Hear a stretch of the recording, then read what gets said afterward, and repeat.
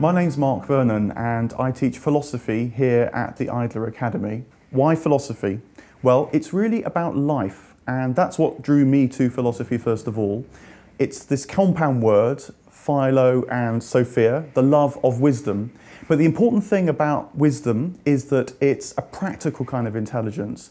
For the ancient Greeks, which is where we begin our philosophy course here at the Idler Academy, for the ancient Greeks, it was how to live well in life, how to flourish, a kind of practical intelligence.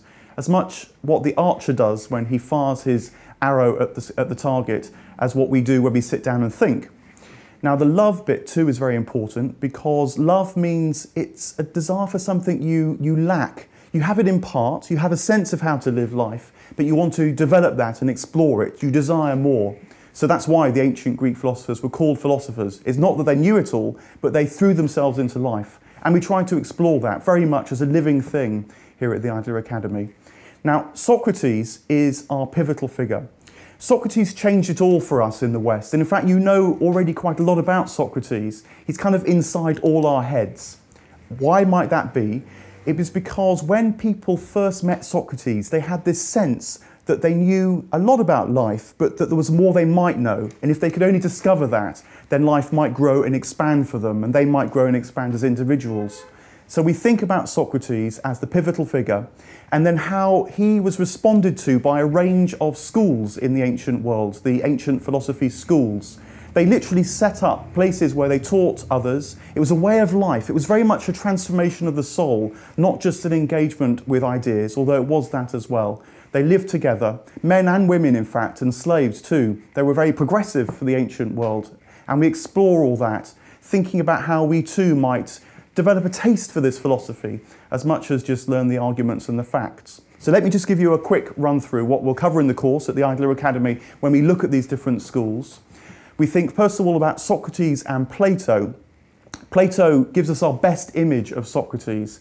And if there was one word which captured his encounter um, it would be the word love, I think. Plato realized that we have this desire, this passion, this quest for life that runs through us. And when it goes well, it makes for life. It, it, it inspires our creativity, our desire, our questing. But the trouble is that it's uh, an uneasy thing. It can unsettle and frustrate us as much as that. And in fact, in extreme case, perhaps even ruin a life. You just know this if you've fallen in love and it hasn't quite worked out. It's that kind of experience, but blown up into life as a whole. And so Plato's way of life is how we can, can garner and nurture that in order that it makes for our well-being. Plato met Socrates and was taught by him for about 20 years. Aristotle, the next person we consider on the course at the Idler Academy, was taught by Plato for another 20 years or so. It gives you a taste of how long this training was. But what was different perhaps between Plato and Aristotle was that Aristotle lived in a world after Alexander the Great. He taught Alexander the Great, actually. And Alexander the Great, as he moved out, he sent back lots of examples of things to Aristotle, and Aristotle collected them. He collected plants and he collected animals, but also he collected things like types of friendship or the ways that cities were put together and how they ran. And he thought about that and came up with his philosophy, his quest to know more about how these things work in human life. We think about Aristotle. Now, we think also about a couple of further schools, the Epicureans and the Stoics. Now, these are words which are well known to us today to be an Epicurean, to be a Stoic, but they get twisted in the centuries between now and back then. And so we try and get back to the heart of what their philosophy was really about. It's, it's quite important actually, because, for example, Epicureans were into pleasure, but they thought that less is more, not more is more. Epicurus thought that he could be as happy as Zeus feasting on Mount Olympus if all he had was a glass of water and a barley cake. That, in a way, was the goal of their, their school to learn how to seriously and profoundly, not just because you think it's a good idea, but genuinely to enjoy the simple pleasures in life. The glass of water, and also things like friendship were very important for them. So that's the Epicureans. We also think about Stoics. Stoicism is very, very influential actually in the modern world. Quite a number of therapies are based on Stoicism. But what the Stoics thought was that you need to learn about this practical wisdom, this intelligence, um, in everyday life. They were called the Stoics, not because they were stoical, that's the sort of misunderstanding, but because Zeno, the founder of the Stoics, taught in the Stoa, which was the ancient Athenian marketplace. He thought actually that it's a little encounters in life where you learn this practical intelligence. And if you can learn it then, then when something very big happens and maybe difficult, then you're resourced and equipped in order to know how to do that and deal with it. We've done the Epicureans, we do the Stoics on the course at the Idler Academy, and then we come finally to a couple of other schools which are uh, as quirky as they are interesting and important for that reason. We think about the skeptics and the cynics. Now, skeptics doesn't mean they were skeptical.